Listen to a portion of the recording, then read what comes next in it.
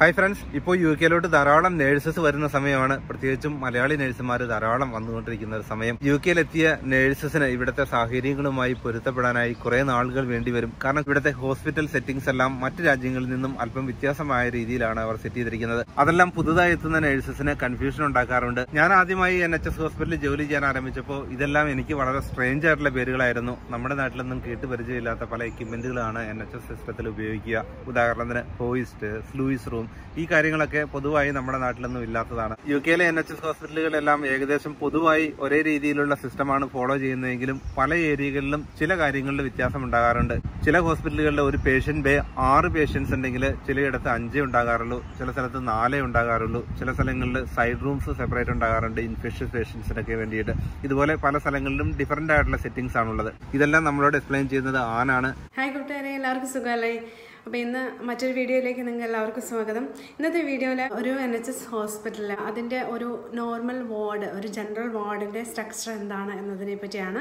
Especially ഞാനിപ്പോൾ work ചെയ്യുന്ന ഹോസ്പിറ്റലിൽ ഒരുവിധം എല്ലാ എൻ എച്ച് എസ് ഹോസ്പിറ്റലുകളും ഏകദേശം ഇൻഫ്രാസ്ട്രക്ചറൊക്കെ ഒരുപോലെ തന്നെയായിരിക്കും. അപ്പം ഞാൻ വർക്ക് ചെയ്യുന്ന ഒരു വാർഡിലത്തെ ഒരു ജനറൽ സ്ട്രക്ചർ എങ്ങനെയാണ് അതിനകത്ത് എന്തെല്ലാം ഫെസിലിറ്റീസ് ഒക്കെ ഉണ്ട് എന്നതിനെപ്പറ്റി ഒരു ചെറിയ ഇൻഫോർമേറ്റീവ് ആയിട്ടുള്ള ഒരു വീഡിയോ ആണ് ഇന്ന് ഞാൻ ചെയ്യാൻ ആഗ്രഹിക്കുന്നത്. എൻ എച്ച് എസ് ഹോസ്പിറ്റലുകളുടെ എല്ലാ വാർഡുകളിലേക്കും നോർമലി നമുക്ക് ചുമ്മാ അങ്ങനെ കയറി വരാൻ പറ്റത്തില്ല. ഒരു ഇലക്ട്രോണിക് സിസ്റ്റമാണുള്ളത് ഡോറിനെല്ലാം നമ്മൾ കണ്ടിട്ടുണ്ടാകുമായിരിക്കും ഔട്ട്സൈഡ് ഇപ്പം ദുബായ് ആണെങ്കിലും അങ്ങനെ പല സ്ഥലങ്ങളിലാണെങ്കിലും ഒരു വാർഡിലേക്കൊക്കെ കയറുന്നതിന് അവർ ഡോറ് ഇലക്ട്രോണിക്കലി മോണിറ്റർ ചെയ്യാണ് ചെയ്യുന്നത്. അപ്പോൾ ഒരു വിസിറ്റർ വരുവാണെങ്കിൽ പെട്ടെന്ന് വാർഡിനകത്തേക്ക് കയറാൻ പറ്റത്തില്ല. അവർക്ക് ബെല്ലടിച്ചതിന് ശേഷം ക്ലർക്കുമാരൊന്നെങ്കിൽ ഡോർ ഓപ്പൺ ചെയ്യും. ഇല്ലെങ്കിൽ നമുക്ക് സ്റ്റാഫായിട്ടുള്ള ആളുകൾക്ക് നമ്മുടെ ഐ ഡി കാർഡ് സ്വാപ്പ് ചെയ്തുകൊണ്ട് നമുക്ക് ഡോർ ഓപ്പൺ ചെയ്യാൻ വേണ്ടിയിട്ട് പറ്റും. അതുപോലെ തന്നെ ഡോറിന്റെ അവിടെ ചെറിയൊരു ക്യാമറ സിസ്റ്റം ഉണ്ട്.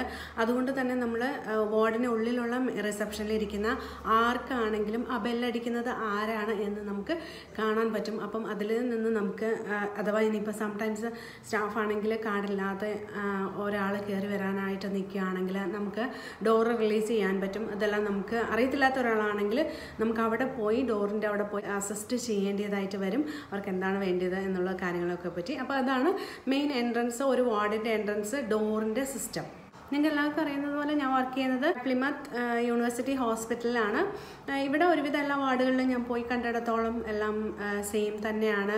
എൻട്രൻസ് ഡോറ് കഴിഞ്ഞ് കഴിഞ്ഞ് കഴിയുമ്പോൾ ഒരു സൈഡിലായിട്ട് കിച്ചണാണ് നമുക്ക് ആദ്യമേ കാണാം. അതൊരു കോറിഡോർ പോലെയാണ്. ആ കോറിഡോറിന്റെ രണ്ട് സൈഡുകളിലുമായിട്ട് കുറച്ച് റൂമുകൾ നമുക്ക് കാണാൻ പറ്റും. അതിൽ ഒരു സൈഡിൽ കിച്ചൺ ഉണ്ടാകും. അതിന് തൊട്ടപ്പുറത്തായിട്ട് എം ഡി ടി ടീമിന്റെ മീറ്റിംഗ് റൂം അല്ലെങ്കിൽ ഡോക്ടേഴ്സിന്റെ റൂം എന്നൊക്കെ പറയും. ഇതെല്ലാം കൂടെ കമ്പൈനായിട്ട് ഒരു റൂമാണ് ഒരു സൈഡിലുണ്ടാവുക അതേസമയം ഓപ്പോസിറ്റ് സൈഡിൽ ഒരു കോറിഡോറിന്റെ ഇപ്പം വലതുവശം നമ്മൾ എക്സാമ്പിൾ പറയുകയാണെങ്കിൽ കിച്ചണും അതോടൊപ്പം തന്നെ ഡോക്ടേഴ്സിന്റെ റൂമാണെങ്കിൽ ഇടതുവശത്തായിട്ട് ലിനൻ റൂമുകൾ കാണാൻ പറ്റും. അതുപോലെ തന്നെ സ്ലൂസിന്റെ റൂം കാണാൻ പറ്റും. അതായത് സ്റ്റോറേജ് സ്റ്റോർ റൂമുകൾ പിന്നെ മാനേജറുടെ ഒരു റൂം ഇത്രയുമാണ് കോറിഡോറിൽ കാണാൻ പറ്റുന്നത്. അപ്പോൾ ഈ ഓരോ റൂമുകളെ പറ്റി ഇൻ ഡീറ്റെയിൽ ആയിട്ടൊന്ന് പറയാം. കിച്ചണിൽ ആവശ്യത്തിന് വേണ്ടി എല്ലാ സാധനങ്ങളും അതായത് കേടാവാതിരിക്കുന്ന എല്ലാ ഐറ്റംസും ബ്രെഡ് ഐറ്റംസ് ഒക്കെ കാണാൻ പറ്റും. അതുപോലെ തന്നെ ഒരു ചെറിയ ഫ്രിഡ്ജ് ഉണ്ടാവും ഫ്രിഡ്ജിനകത്ത്. ഫ്രിഡ്ജിൽ സ്റ്റോർ ചെയ്യുന്ന എല്ലാ ഐറ്റംസ് അതായത് യോഗട്ട് മിൽക്ക് ഉൽപ്പന്നങ്ങൾ സാൻഡ്വിച്ചുകൾ അങ്ങനത്തെ കാര്യങ്ങളെല്ലാം ഫ്രിഡ്ജിൽ നമുക്ക് കാണാൻ പറ്റും. പിന്നെ ബ്രേക്ക്ഫാസ്റ്റിന് വേണ്ട ഐറ്റംസ് എല്ലാം കിച്ചണിൽ തന്നെ റെഡി അവൈലബിൾ ആയിട്ട് ഉണ്ടാവും. അതുപോലെ തന്നെ ഒരു സിങ്ക് ഉണ്ടാകും. പിന്നെ ഫുഡ് ഹീറ്റ് ചെയ്യുന്നതിനും അതിനു വേണ്ടിയുള്ള മെഷീൻസ് അതുപോലെ തന്നെ ഇവരുടെ ഡ്രിങ്ക്സ് കൊണ്ടുപോകുന്നതിന് വേണ്ടിയുള്ള ഒരു ചെറിയ വെഹിക്കിൾ പോലെ മൂവബിൾ ആയിട്ടുള്ള ഒരു ഹൈഡ്രേഷൻ ഏരിയ എന്ന് പറയും. അങ്ങനെ ഒരു മെഷീൻ ഉണ്ടാകും. പിന്നെ വാട്ടർ ഹീറ്റിംഗ് സിസ്റ്റം ഉണ്ടാകും. പിന്നെ ഇത്രയും കാര്യങ്ങളാണ് കിച്ചണിൽ മെയിനായിട്ട് നമുക്ക് കാണാൻ വേണ്ടി കഴിയുന്നത്. അടുത്തത് M D T meeting room അല്ലെങ്കിൽ ഡോക്ടേഴ്സ് റൂം അതെല്ലാം കൂടെ കമ്പൈൻ ആയിട്ടുള്ളതാണ്. മൾട്ടി ഡിസിപ്ലിനറി ടീം മെമ്പേഴ്സിന്റെ റൂമാണ് ഇവിടെ സാധാരണ കുറേ ഡെസ്കുകൾ ചിലപ്പം ജോയിൻ ചെയ്തിട്ടുള്ള ഒരു ഡെസ്ക് ആയിരിക്കും. ടി ഷേപ്പിലോ യു ഷേപ്പിലോ അങ്ങനെ ഒരു ഷേപ്പിലായിട്ട് അതോടൊപ്പം തന്നെ കുറേ ചെയറുകളും ആയിട്ടുള്ളൊരു സെറ്റിങ്സ് ആണ് എം ഡി ടി ടീമിന്റെ റൂമിലുണ്ടാവുക അതോടൊപ്പം തന്നെ കുറേ സിസ്റ്റംസ് കമ്പ്യൂട്ടറുകളും അതുപോലെ തന്നെ ലാപ്ടോപ്സും എല്ലാം അവിടെ അവൈലബിൾ ആയിരിക്കും. പിന്നെ പേഷ്യന്റ് സ്റ്റാറ്റസ് ഒക്കെ കാണിക്കാൻ വേണ്ടിയിട്ടുള്ള ഒരു ഒരു ഒരു പക്ഷേ ഒരു ബിഗ് സ്ക്രീൻ ആയിരിക്കും. അല്ലെങ്കിൽ ഒരു ചെറിയൊരു സാധാരണ നോർമൽ ഒരു ഡെസ്ക്ടോപ്പിൽ തന്നെ ഇവർ കാണിക്കും. പേഷ്യൻസിന്റെ സ്റ്റാറ്റസ് ബെഡ് സ്റ്റാറ്റസ് എല്ലാം കൂടി കാണിക്കാൻ വേണ്ടിയിട്ട്. ഇതാണ് നമ്മുടെ എം ഡി ടി മീറ്റിംഗ് റൂമിൽ അതോടൊപ്പം തന്നെ ഇവിടെ ഒരു കോൺഫിഡൻഷ്യാലിറ്റീന്റെ ബോക്സ് വെക്കാറുണ്ട്. അതായത് നമ്മുടെ ഹാൻഡ് ഓവർ അല്ലെങ്കിൽ ഇൻ കേസ് നമ്മൾ എന്തെങ്കിലും പ്രിന്റ് ഔട്ട്സ് ഒക്കെ എടുത്തിട്ട് പേഷ്യന്റ് ഡീറ്റെയിൽസ് ഉള്ളത് വല്ലതും ആണെങ്കിൽ നമ്മൾ കോൺഫിഡൻഷ്യൽ ആയിട്ട് വേസ്റ്റ് ഡിസ്പോസ് ചെയ്യാൻ വേണ്ടിയിട്ട് ഒരു ഒരു വലിയൊരു ബിന്ന് തന്നെ ഇതോടൊപ്പം തന്നെ അവിടെ വെച്ചിരിക്കും. യു കെയിലെ എൻ എച്ച് എസ് ഹോസ്പിറ്റലാണെങ്കിലും പ്രൈവറ്റ് മേഖലയിലുള്ള ഏത് ഹെൽത്ത് കെയർ സിസ്റ്റം ആണെങ്കിലും അവരെല്ലാം നാഷണൽ സ്റ്റാൻഡേർഡ് അനുസരിച്ചാണ് വർക്ക് ചെയ്യുക. ഇത് നാഷണൽ സ്റ്റാൻഡേർഡിലാണോ എന്ന് ചെക്ക് ചെയ്യുന്നത് യു കെയിലെ കെയർ ക്വാളിറ്റി കമ്മീഷൻ അഥവാ സി ക്യു സി ആണ്. കോൺഫിഡൻഷ്യാലിറ്റിക്ക് വലിയ പ്രാധാന്യമാണ് യു കെയിലുള്ളത് അതുകൊണ്ട് തന്നെ പേഷ്യൻസിന്റെ ഡീറ്റെയിൽസ് പൊതുവായ സ്ഥലത്ത് തുറന്നിടാൻ പാടില്ല. പേഷ്യൻസിന്റെ ഡീറ്റെയിൽസ് ചെക്ക് ചെയ്ത കമ്പ്യൂട്ടർ ആണെങ്കിലും നമ്മൾ കമ്പ്യൂട്ടറിനടുത്തില്ലെങ്കിൽ അത് ലോഗ് ഓഫ് ചെയ്തതിനു ശേഷം മാത്രമാണ് മറ്റു സ്ഥലത്തേക്ക് പോകാൻ കഴിയും. അതേപോലെ തന്നെ ആരെങ്കിലും ഫോൺ വിളിച്ച് പേഷ്യൻസിന്റെ ഇൻഫർമേഷൻ ചോദിക്കുകയാണെങ്കിൽ ഒരു കാരണവശാലും ഓവർ ദ ഫോണിൽ ഇൻഫർമേഷൻ പറയാൻ പാടില്ല. എന്നാൽ നെക്സ്റ്റ് കിന്നിനെയൊക്കെ നമ്മൾ അങ്ങോട്ട് ഫോൺ വിളിച്ച് അവരോട് ഇൻഫർമേഷൻ പറയുന്നതിൽ തെറ്റില്ല. അവരാണെന്ന് ഉറപ്പുവരുത്തിയതിനു ശേഷം മാത്രം. എൻ എച്ച് എസ് ഹോസ്പിറ്റലിൽ ജോലി ചെയ്യാനെത്തുന്ന എല്ലാവരും അറിഞ്ഞിരിക്കേണ്ട പ്രധാന കാര്യമാണ് ആ ഹോസ്പിറ്റലിന്റെ പോളിസികൾ എന്തൊക്കെയാണ്? ആ പോളിസി എവിടെയാണ് നിങ്ങൾക്ക് റെഫർ ചെയ്യാനായി സാധിക്കുക? മിക്കതും ഓൺലൈനിലുണ്ട് അതുകൂടാതെ പേപ്പർ ഫോമിലും പോളിസി പ്രിന്റ് ചെയ്ത് വെച്ചിട്ടുണ്ടാകും. അത് എവിടെയാണെന്നുള്ള കാര്യം കൃത്യമായി അറിയണം. പലപ്പോഴും സി കെ സിയുടെ ഇൻസ്പെക്ഷന്റെ സമയത്ത് അവർ ഇത് എവിടെയാണ് എന്ന് ചോദിക്കാറുണ്ട് പ്രധാന പോളിസിയെ കുറിച്ച് നല്ലൊരു അറിവുണ്ടായിരിക്കണം. യു കെയിലെ ആദ്യമായിട്ട് നിങ്ങൾ ചെയ്യേണ്ടത് ഫയർ എക്സിറ്റ് എവിടെയാണെന്ന് കൃത്യമായിട്ട് അറിഞ്ഞിരിക്കുക. അത് വളരെ ഇമ്പോർട്ടന്റ് ആയിട്ടുള്ള ഒരു കാര്യമാണ്. ഏതെങ്കിലും രീതിയിൽ ഫയർ ഹോസ്പിറ്റൽ ഉണ്ടാവുകയാണെങ്കിൽ എങ്ങനെയാണ് നിങ്ങൾ ആ ഫയർ മാനേജ്മെന്റ് നടത്തുക എന്നുള്ളത് കൃത്യമായി അറിഞ്ഞിരിക്കണം. ചില സമയങ്ങളിൽ ഇൻസ്പെക്ഷന്റെ സമയത്തൊക്കെ പലരോടും ഈ ചോദ്യങ്ങൾ ചോദിച്ചപ്പോൾ അവർക്ക് പറയാൻ കഴിയാത്തതിന്റെ പേരിൽ ബുദ്ധിമുട്ടുകൾ ഉണ്ടായിട്ടുണ്ട്. അതുകൂടാതെ മറ്റൊരു പ്രധാന കാര്യമാണ് റീസസ് ട്രോളി എമർജൻസി സിറ്റുവേഷനിൽ ഉപയോഗിക്കുന്ന ട്രോളി എവിടെയാണ് ഇരിക്കുന്നത്? അതിനുള്ളിൽ എന്തൊക്കെയുണ്ട്? തുടങ്ങിയ കാര്യങ്ങളെക്കുറിച്ച് നല്ലൊരു അറിവുണ്ടായിരിക്കണം. കാരണം പല എമർജൻസി സാഹചര്യങ്ങളിലും നഴ്സുമാരാണ് ഈ കാര്യങ്ങളൊക്കെ മാനേജ് ചെയ്യുക. വാർഡിലേക്ക് കയറി വരുമ്പോൾ തന്നെ മറ്റൊരു സൈഡിൽ നമുക്ക് കാണാൻ കഴിയുന്ന ഒരു റൂമാണ് സ്റ്റോർ റൂം സ്റ്റോർ റൂമിനകത്ത് നിങ്ങൾക്ക് എല്ലാവർക്കും അറിയുന്നത് പോലെ എല്ലാ ഐറ്റംസും സ്റ്റോർ ചെയ്ത് വെക്കുന്ന ഒരു ഏരിയയാണ് അവിടെ ചിലപ്പോൾ നമ്മുടെ ഇൻഫ്യൂഷൻ പമ്പ്സ് നിലവിൽ ഉപയോഗിക്കാതിരിക്കുന്ന ഐ വി സ്റ്റാൻഡുകൾ നഴ്സിംഗ് റിലേറ്റഡ് ആയിട്ടുള്ള എല്ലാ എക്യുപ്മെന്റ്സും ഈ സ്റ്റോർ റൂമിലാണ് സ്റ്റോർ ചെയ്യുന്നത്. അതോടൊപ്പം തന്നെ ഐ വി ഫ്ലൂയിഡ്സ് പിന്നെ നമ്മുടെ ന്യൂട്രീഷനായിട്ട് ബന്ധപ്പെട്ടിട്ടുള്ള ഡ്രിങ്ക്സ് അല്ലെങ്കിൽ നമ്മുടെ ഫീഡിങ്ങുമായി ബന്ധപ്പെട്ടിട്ടുള്ള ഡ്രിങ്ക്സ് അങ്ങനത്തെ കാര്യങ്ങൾ എല്ലാം സ്റ്റോർ റൂമിലാണ് നമുക്ക് കാണാൻ വേണ്ടിയിട്ട് സാധിക്കുക. പിന്നെ ഒരു ലിനൻ റൂം ഉണ്ടാവും. ലിനൻ റൂമിലും ഈ പറഞ്ഞതുപോലെ ബെഡ്ഷീറ്റുകൾ ബ്ലാങ്കറ്റ്സ് പില്ലോ കേസസ് അതുപോലെ തന്നെ പില്ലോസ് ഒക്കെ ചിലപ്പം ലിനൻ റൂമിൽ കാണാറുണ്ട്. അങ്ങനത്തെ സ്ലൈഡിങ് ഷീറ്റുകൾ അങ്ങനത്തെ കാര്യങ്ങളെല്ലാം ലിനൻ റൂമിൽ കാണാൻ പറ്റും. പിന്നെ എല്ലാ വാർഡുകളിലും നമുക്ക് കാണാൻ സാധിക്കുന്ന മറ്റൊരു റൂമാണ് സ്ലൂസ് റൂം എന്ന് പറയും. ഈ റൂമിൽ ഒരു ഒന്നോ രണ്ടോ സിങ്കുകൾ ഉണ്ടാകും. ഒരു നോർമൽ വാട്ടർ അതായത് വേസ്റ്റ് വാട്ടറൊക്കെ കളയാൻ വേണ്ടിയിട്ടുള്ളൊരു സിങ്ക്. ഈ സിങ്ക് മെയിനായിട്ടും നമ്മൾ ബെഡ് ബാത്തൊക്കെ കൊടുത്തു കഴിഞ്ഞ് കഴിയുമ്പോൾ നമുക്ക് നമ്മുടെ ഒരു ബൗളിൽ ബാക്കി വരുന്ന വെള്ളമെല്ലാം കളയാൻ വേണ്ടി ഉപയോഗിക്കുന്നതാണ് ആ സിങ്ക്. അതോട് കൂടാതെ നമ്മുടെ ഹാൻഡ് വാഷിങ്ങിന് വേണ്ടിയുള്ള ഒരു സിങ്ക് ഉണ്ടാകും. ഈ സ്ലൂസിലാണ് സാധാരണ നമ്മുടെ ഗ്ലൗസ് കാര്യങ്ങളെല്ലാം കാണപ്പെടുന്നത്. അതുപോലെ തന്നെ ബെഡ് ബാത്തിന് വേണ്ടിയുള്ള ഐറ്റംസ് എല്ലാം അതുപോലെ തന്നെ ടിഷ്യൂസ് വെറ്റ് വൈപ്സ് ഇങ്ങനത്തെ കാര്യങ്ങളെല്ലാം കാണാൻ നമുക്ക് സാധിക്കും. പിന്നെ മോഡുകൾ ബെഡ് പാന് യൂസ് ചെയ്യാനുള്ള ഐറ്റംസ് ഇങ്ങനത്തെ കാര്യങ്ങളും. പിന്നെ ഒരു ലിനന്റെ ബെഡ്ഷീറ്റ് ചേഞ്ച് ചെയ്യുമ്പോൾ നമ്മൾ ഉപയോഗിക്കുന്ന കവറ് അങ്ങനത്തെ കാര്യങ്ങളെല്ലാം. നമ്മൾ പേഷ്യൻസിന്റെ ലിനൻ ചേഞ്ച് ചെയ്യുമ്പോൾ ഡേർട്ടി ലിനൻസ് കളക്ട് ചെയ്യുന്ന സ്കിഡ് എന്ന് പറയുന്ന ഒരു സാധനമുണ്ട്. അതിൽ അറ്റാച്ച് ചെയ്യുന്ന പ്ലാസ്റ്റിക് കവറുകളുണ്ട് ഈ കവറുകളിലാക്കിയിട്ടാണ് നമ്മൾ ലിനൻസ് കളക്ട് ചെയ്ത് വാഷിങ്ങിന് വേണ്ടിയിട്ട് നമ്മൾ സെൻഡ് ചെയ്യുന്നത്. അപ്പം ഇങ്ങനത്തെ ഐറ്റംസ് എല്ലാം സ്ലൂസിലാണ് നമുക്ക് കാണാൻ സാധിക്കുക. അപ്പം ഒരു വാർഡിൽ ഇത്രയും ഫെസിലിറ്റീസ് കൂടാതെ നമുക്ക് നോർമലായിട്ട് കാണാൻ പറ്റുന്നത് ടോയ്ലറ്റുകൾ മൂന്നോ നാലോ ടോയ്ലറ്റ്സ് കാണും. പിന്നെ ഷവർ റൂം സെപ്പറേറ്റ് ആയിട്ട് കാണും. രണ്ട് ഷവർ റൂമുകൾ കാണാറുണ്ട്. രണ്ടോ മൂന്നോ ഷവർ റൂംസ് പിന്നെ വാഷിങ്ങിനും പിന്നെ ഷേവിങ് അതുപോലെ തന്നെ ഫേസ് വാഷിങ് ബ്രഷിങ് ഇങ്ങനത്തെ കാര്യങ്ങൾക്കെല്ലാം കൂടെ കൂടി ഒരു രണ്ട് സെപ്പറേറ്റ് ആയിട്ടുള്ള റൂംസ് കാണാറുണ്ട്. വിത്ത് വാഷ് ബേസിൻ മിററൊക്കെ ആയിട്ട് ഇത്രയുമാണ് നോർമലായിട്ട് ഒരു വാർഡിൽ കാണപ്പെടുന്ന എക്സ്ട്രാ ആയിട്ടുള്ള റൂം. പിന്നെ ഇനി നമ്മുടെ വാർഡിന്റെ സെറ്റിങ്സ് അതായത് പേഷ്യൻസ് എവിടെയാണ് ഉണ്ടാവുക നഴ്സസിന്റെ അല്ലെങ്കിൽ റിസപ്ഷൻ എവിടെയാണ് എന്നൊക്കെ ഉള്ളതിനെക്കുറിച്ച് പറയാം. ഒരു വാർഡിന്റെ ഏകദേശം സെൻട്രലായിട്ടാണ് റിസപ്ഷൻ കാണുക. റിസപ്ഷനിൽ സാധാരണഗതിയിൽ രണ്ട് ക്ലർക്കുമാര് കാണാറുണ്ട്. ഒരാൾ ഫയൽ ഡിപ്പാർട്ട്മെന്റുമായിട്ട് ഡീൽ ചെയ്യുന്ന ഒരാളും മറ്റൊരാൾ കോൾ അറ്റൻഡ് ചെയ്യാനും അല്ലാതെ നോർമലായിട്ടുള്ള എല്ലാ കാര്യങ്ങളും നഴ്സുമാരെയും ബാക്കിയുള്ള എല്ലാ ഹെൽത്ത് പ്രൊഫഷണൽസിനെയും ഹെൽപ്പ് ചെയ്യാനുമായിട്ട് രണ്ട് ക്ലർക്കുമാരാണ് അഡ്മിനിസ്ട്രേറ്റീവ് ലെവലിൽ ഉള്ള രണ്ട് ക്ലർക്കുമാരാണ് ഉണ്ടാവുക. പിന്നെ അതോടൊപ്പം തന്നെ ഈ റിസപ്ഷന്റെ ബാക്കിലായിട്ടാണ് നമ്മുടെ ട്രീറ്റ്മെന്റ് റൂം അതായത് മെഡിക്കേഷൻ ട്രീറ്റ്മെന്റ് റൂം എന്ന് പറയുന്ന റൂം ഉണ്ടാവുക.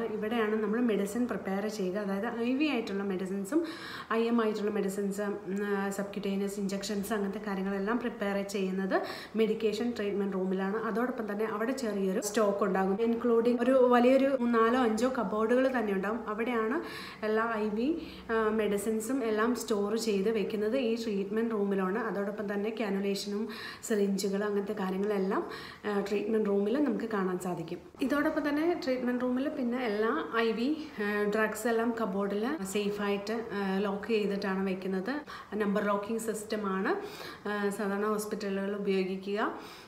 ആന്റിബയോട്ടിക് എല്ലാം സെപ്പറേറ്റ് ആയിരിക്കും.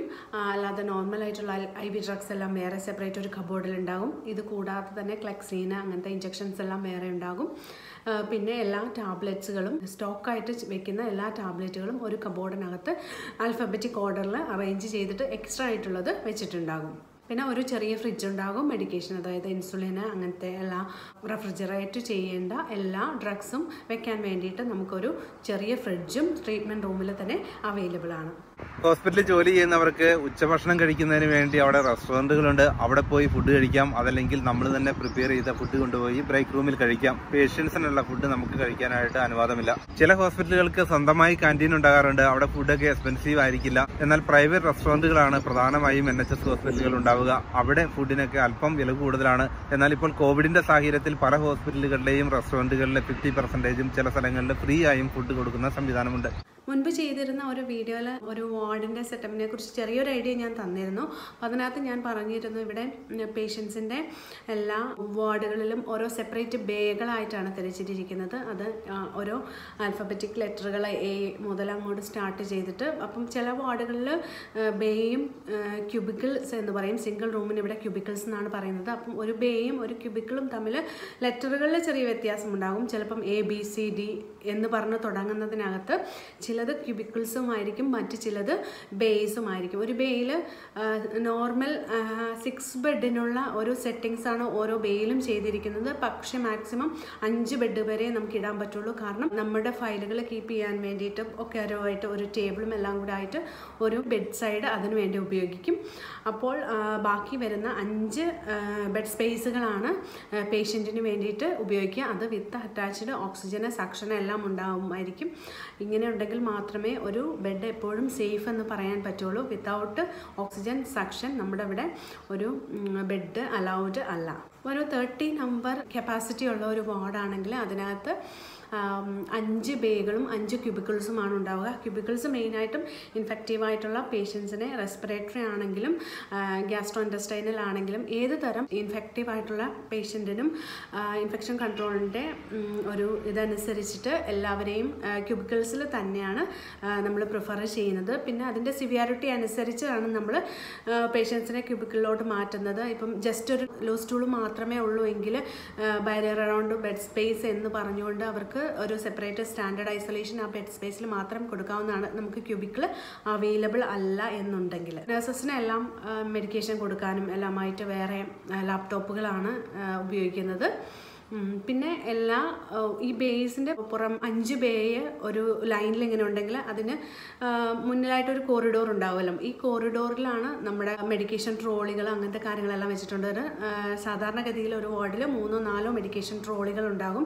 ഈ ട്രോളിക്കുള്ളിലാണ് നമ്മുടെ എല്ലാ നോർമലായിട്ടുള്ള മെഡിസിൻസ് എല്ലാം ടാബ്ലറ്റ്സുകളെല്ലാം. ടാബ്ലറ്റ്സുകൾ മാത്രമേ ട്രോളിയിൽ സാധാരണ വയ്ക്കാറുള്ളൂ പിന്നെ പേഷ്യൻസിന്റെ യൂസ്ഡ് ആയിട്ടുള്ള ഇൻസുലിൻ ഫ്രിഡ്ജിൽ എല്ലാം നമ്മൾ കീപ്പ് ചെയ്യുന്നത്. അതും മെഡിക്കേഷൻ ട്രോളിയിലാണ് വെക്കുന്നത്. ആ മെഡിക്കേഷൻ ട്രോളി എപ്പോഴും ലോക്കായിരിക്കും അതിന്റെ കീ ഓരോ സ്റ്റാഫുകളുടെ കയ്യിലുണ്ടാകും. കോമൺ ആയിട്ടുള്ള കീ ആണ് എല്ലാ മെഡിക്കേഷൻ ട്രോളിക്കും ഉപയോഗിക്കുന്നത്. ഈ മെഡിക്കേഷൻ ട്രോളിയുടെ തന്നെ താഴെ ഭാഗങ്ങളിൽ രണ്ടോ മൂന്നോ ഷെൽഫുകളുണ്ടാകും അവിടെ അത്യാവശ്യം വേണ്ടി നമുക്ക് ഓറൽ സിറപ്പുകളൊക്കെ കൊടുക്കാൻ വേണ്ടിയിട്ട് സിറിഞ്ചുകൾ അങ്ങനത്തെ കാര്യങ്ങളൊക്കെ നമുക്ക് വെക്കാവുന്നതാണ്. അതുപോലെ തന്നെ സ്ട്രോസ് പ്ലാസ്റ്റിക് കപ്സ് മെഡിക്കേഷൻ പോട്ടുകൾ അങ്ങനത്തെ കാര്യങ്ങളെല്ലാം നമുക്ക് ആ ഷെൽഫിൽ വെക്കാവുന്നതാണ്. പിന്നെ വേറെ ലോക്ക് ചെയ്യാവുന്ന വേറൊരു ഷെൽഫുണ്ട്. ആ ഷെൽഫിൽ ചില സമയങ്ങളിൽ കുറച്ച് വലുതായിട്ടുള്ള മെഡിസിൻസോ അല്ലെങ്കിൽ അങ്ങനെ എന്തെങ്കിലും കാര്യങ്ങളൊക്കെ വയ്ക്കുന്നതിന് വേണ്ടിയിട്ട് നമുക്ക് ഉപയോഗിക്കാം. പിന്നെ ഓരോ പേഷ്യന്റെയും ബെഡ് സൈഡിൽ ഒരു ചെറിയൊരു കബോർഡ് ഉണ്ടാകും. ഈ കബോർഡിന്റെ ഒരു അപ്പർ ഷെൽഫ് എപ്പോഴും ലോക്ക്ഡ് ആയിരിക്കും.